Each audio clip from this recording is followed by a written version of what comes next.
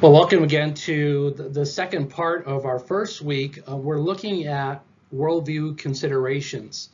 And so we want to be able to begin to frame and also answer the question, what is the worldview behind your part particular subject area that you're wanting to study? So I want to offer up some preliminary assumptions that each of us have um, and even our uh, population that we're wanting to study. The first one is that everybody, everyone has a belief system. You do, I do, and those particular belief systems are shaped out of our experience and, and our personal reality. So our environment, our geographical lo location, maybe we're coming from an international location that is not the United States, but maybe it's in Africa or um, Asia uh, country. And so those experiences shape our, our story. And so when we think about these assumptions, put into a perspective of a spider web. Um, the more layers within that particular spider web, the more uh, the assumptions are there, the underlying assumption. You have cultural expressions, you have symbols that make up any given society or organization, and you have power. Um, power makes up within any organization and or leadership um, perspective as well. Uh, there are core beliefs, and those core beliefs are fundamental values that are often non-negotiables within a particular society.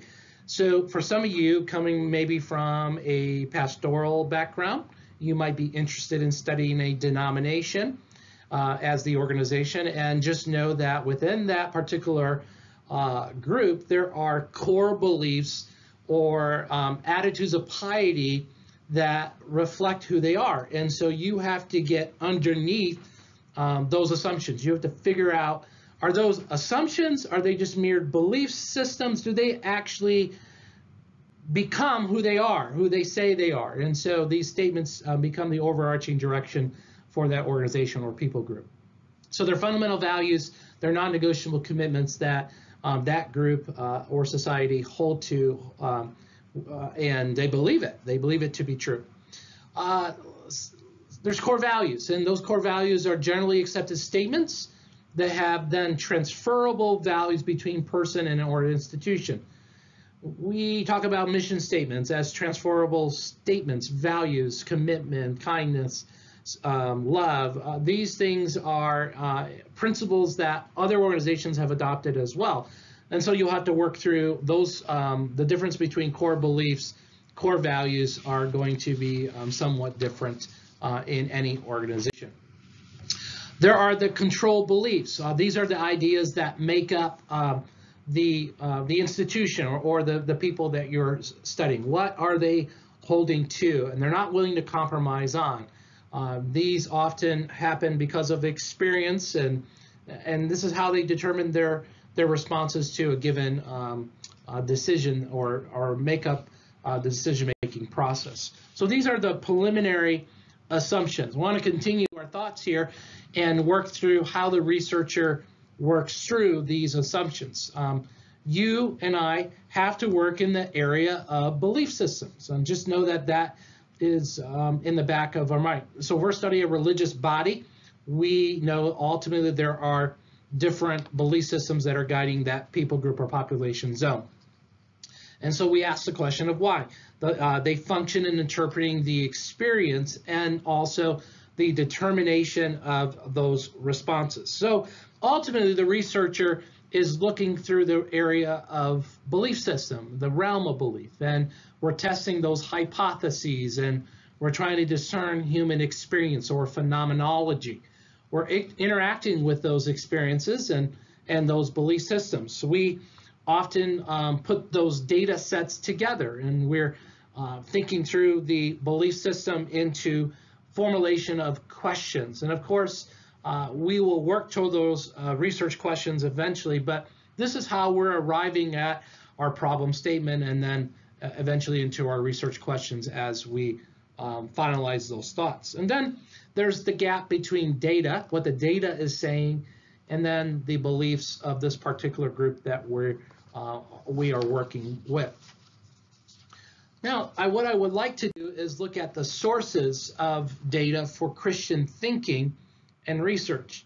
So you're at a Christian college, you're a Christian university, and you're studying organizational leadership. You are researchers. And so there is a, a given expertise that that we are expecting of you as you go into um, your particular area of study.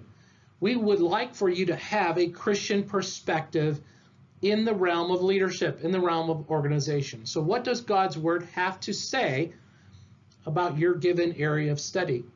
And for some of you coming not from a seminarian background, this will be a challenge for you to articulate. And I'm here to help you work through that process.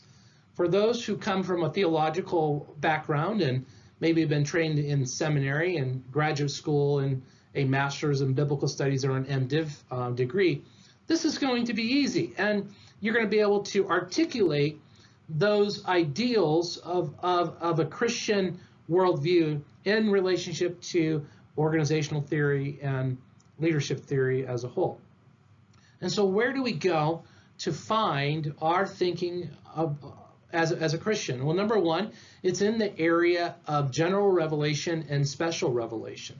So, let me just do a quick overview of what general revelation is.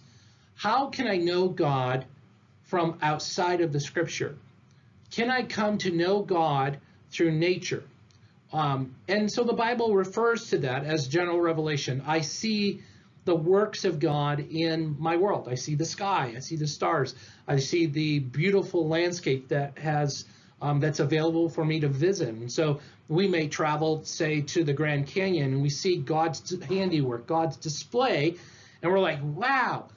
But general revelation needs to be distinguished between special revelation. Special revelation is the gospel, is how we come to personal faith in the Lord Jesus. It's it's the it's the truth that is found in His Word, and so that's the distinction here between what is general, what we see in nature. The the sky, Psalm 19 says, the sky displays, or the the heavens di displays the handiwork of the Lord, uh, whereas where we come to personal faith is through the Scriptures. We come to know God through and by the Holy Scriptures. And so that becomes a source of, of validating our truth within the Christian world or the Christian worldview. Now, there are cultural aspects or cultural factors in regards to when we conduct research. The first one is that when, when we think about the contribution of culture um, as it plays within worldview, cultural factors are definitely an important observation that you as a researcher need to uh, be thinking about as you go into any given organization, society, cultural group. Remember, um, an organization is a culture. They, they have symbols. They have they have processes by which they move and move people along. They have systems of power. Uh, and so those are going to be important factors as you, as you think about culture. Well, now move outside of any organization, you move into a particular people group, a population that you've chosen. And so within that particular variable, there are going to be cultural factors that come into play, symbols and symbols of power, symbols of struggle, and, and so on. Now, each person, you and I are immersed in culture. We live in a particular area of our, of our country, and uh, we might have a larger city uh, in, in our backyard. And so, yes, where we live plays into how we uh, come to understand culture and what we appreciate. Who's who we associate with as well. Are we monocultural? Do we only associate with those of the same skin complexion, or uh, do we see uh, the world uh, broader than our own ethnic background? And so those are some things we'll have to measure as well as we go through um, our research. And then, of course, there's the general intellectual, the moral and cultural climate, the, the zeitgeist concept that often comes into play when we think about research. And those are the cultural, again, the cultural factors as it, as it plays within uh, any body of research as we move uh, forward. Now, lastly, as you think about the zeitgeist of culture, there's the conception of reality and there's ultimately the unconscious values that uh, anyone would hold to as they work through that particular group. Think about your church. Your church is an organization, it's an institution, it has values, has concepts, has a, a sense of reality in which it is painting to those who are the stakeholders that come into uh, that particular church. And it has a body of truth of, uh, that they hold to. They hold with without at times without apology. They they believe it to be what it is, and so that's the framework from which uh, they are working through. So they have a conception of reality that they have enforced, and they're wanting those participants to work through. And then, of course, in any given church, there might be the unconscious values that maybe aren't publicized, but deeply are cherished by you, the participant, as you work through um, that system uh, and that organizational culture. And then lastly, as we move um, thinking through our action research, we're wanting to move uh, toward that pro um, problem statement that arises up um, as uh, we work through uh, the particular cultures and uh, worldviews that are associated within our field of research. So that makes up um, the remainder uh, mini lecture here for this um, particular lecture on looking at worldviews as a consideration within our field of study. I hope that helps and clarifies any question that you might have in this particular uh, subject domain.